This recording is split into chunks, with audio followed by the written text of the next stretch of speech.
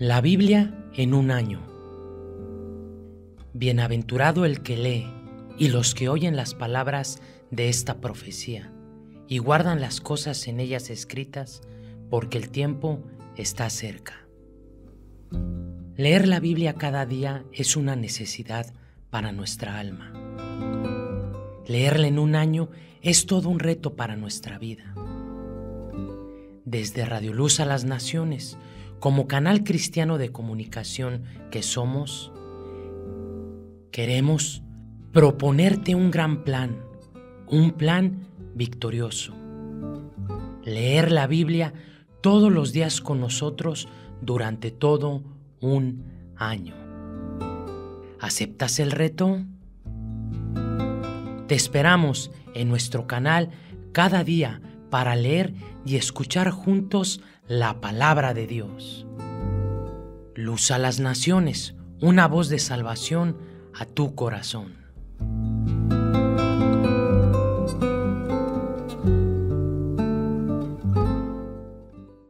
Salmo 127 Si Jehová no edificare la casa, en vano trabajan los que la edifican.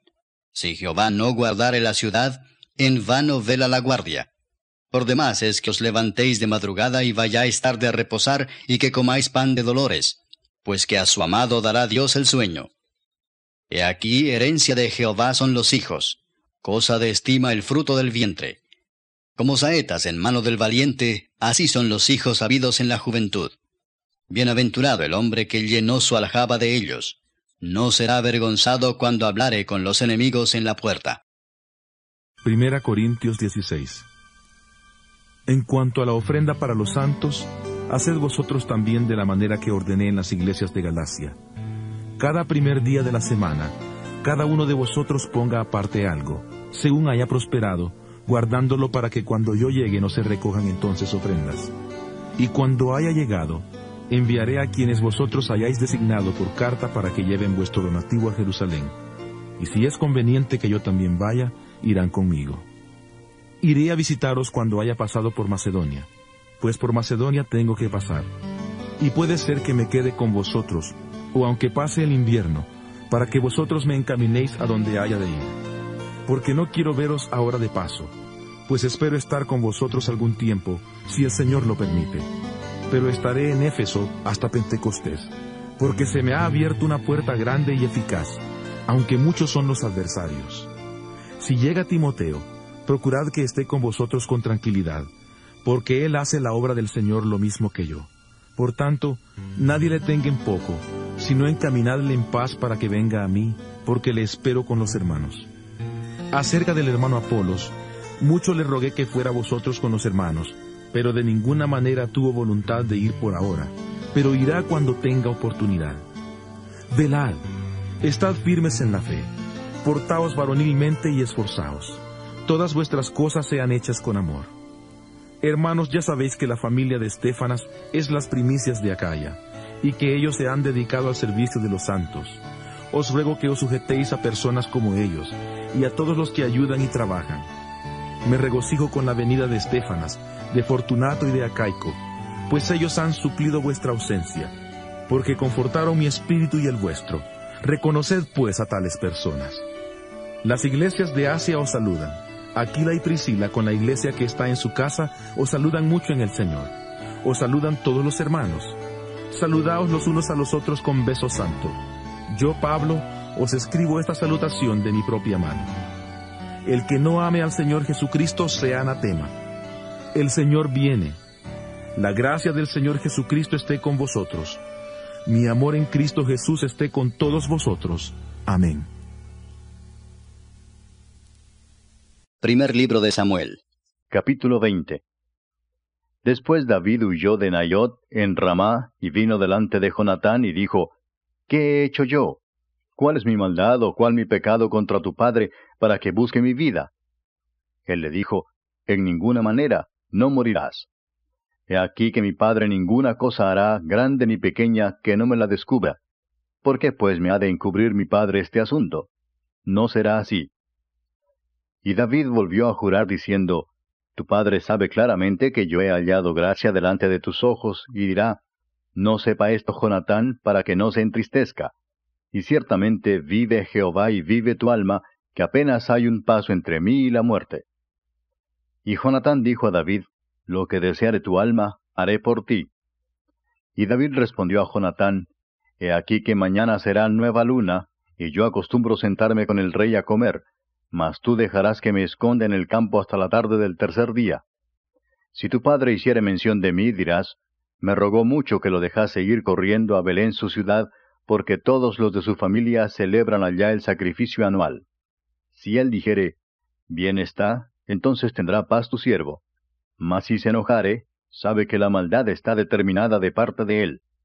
Harás pues misericordia con tu siervo, ya que has hecho entrar a tu siervo en pacto de Jehová contigo, y si hay maldad en mí, mátame tú, pues no hay necesidad de llevarme hasta tu padre.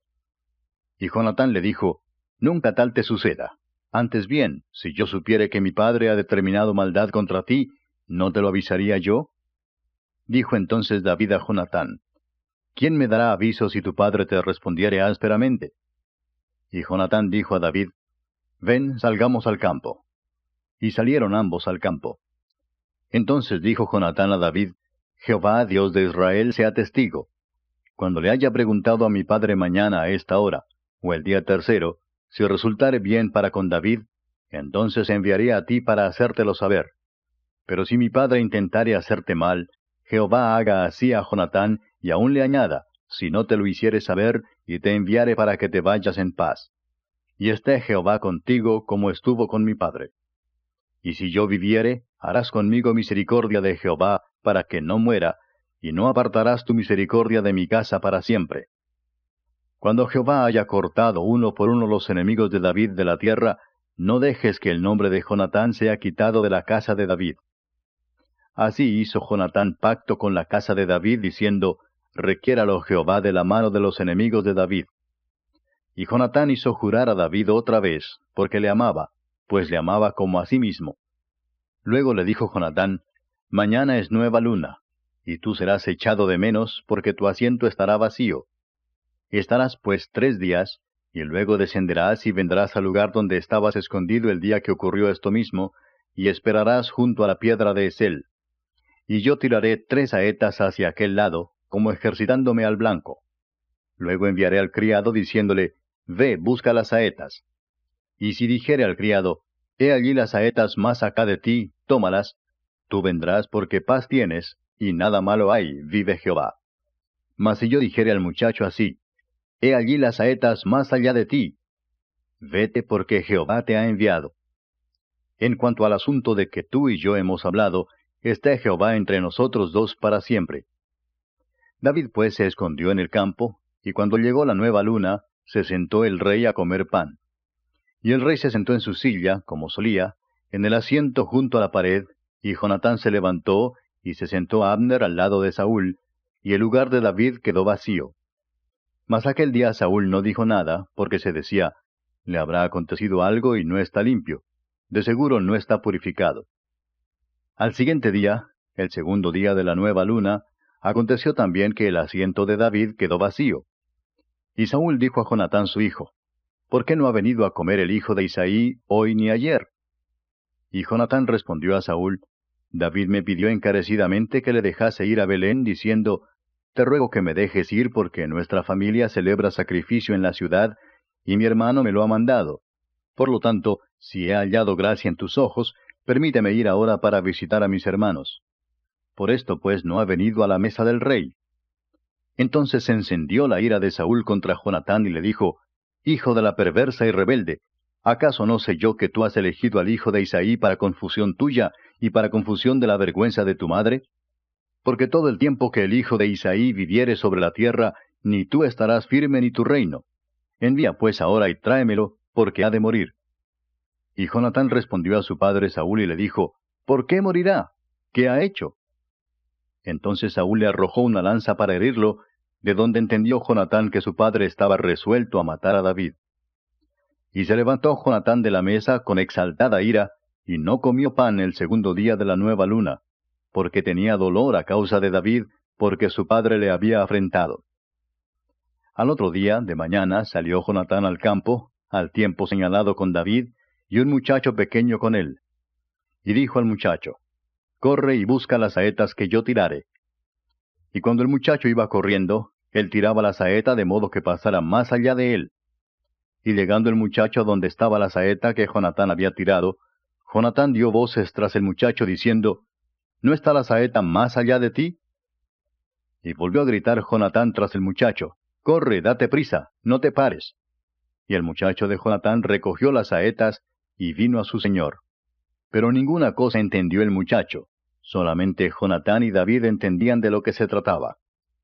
Luego dio Jonatán sus armas a su muchacho y le dijo, Vete y llévalas a la ciudad. Y luego que el muchacho se hubo ido, se levantó David del lado del sur, y se inclinó tres veces postrándose hasta la tierra, y besándose el uno al otro, lloraron el uno con el otro, y David lloró más. Y Jonatán dijo a David, Vete en paz, porque ambos hemos jurado por el nombre de Jehová, diciendo, Jehová esté entre tú y yo, entre tu descendencia y mi descendencia para siempre. Y él se levantó y se fue, y Jonatán entró en la ciudad. Capítulo 21 Vino David a Nob, el sacerdote Ahimelech, y se sorprendió a Ahimelech de su encuentro y le dijo, ¿Cómo vienes tú solo y nadie contigo? Y respondió David al sacerdote Ahimelech, El rey me encomendó un asunto y me dijo, Nadie sepa cosa alguna del asunto que te envío y lo que te he encomendado. Y yo le señalé a los criados un cierto lugar. Ahora pues, ¿qué tienes a mano? Dame cinco panes o lo que tengas. El sacerdote respondió a David y dijo, no tengo pan común a la mano, solamente tengo pan sagrado. Pero lo daré si los criados se han guardado a lo menos de mujeres. Y David respondió al sacerdote y le dijo, En verdad las mujeres han estado lejos de nosotros ayer y anteayer. Cuando yo salí, ya los vasos de los jóvenes eran santos, aunque el viaje es profano. ¿Cuánto más no serán santos hoy sus vasos? Así el sacerdote le dio el pan sagrado, porque allí no había otro pan sino los panes de la proposición, los cuales habían sido quitados de la presencia de Jehová, para poner panes calientes el día que aquellos fueron quitados. Y estaba allí aquel día detenido delante de Jehová uno de los siervos de Saúl, cuyo nombre era Doeg, edomita, el principal de los pastores de Saúl. Y David dijo a Ahimelech, ¿No tienes aquí a mano lanza o espada? Porque no tomé en mi mano mi espada ni mis armas, por cuanto la orden del rey era apremiante. Y el sacerdote respondió, la espada de Goliat el filisteo al que tú venciste en el valle de Ela está aquí envuelta en un velo detrás del efod.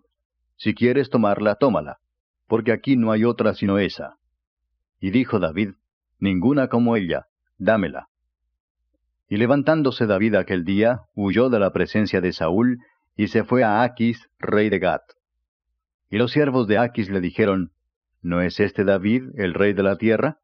¿No es este de quien cantaban en las danzas diciendo, hirió Saúl a sus miles y David a sus diez miles? Y David puso en su corazón estas palabras, y tuvo gran temor de Aquis, rey de Gad. Y cambió su manera de comportarse delante de ellos, y se fingió loco entre ellos, y escribía en las portadas de las puertas, y dejaba correr la saliva por su barba. Y dijo Aquis a sus siervos, He aquí veis que este hombre es demente, ¿por qué lo habéis traído a mí? ¿Acaso me faltan locos para que hayáis traído a éste que hiciese de loco delante de mí? ¿Había de entrar éste en mi casa?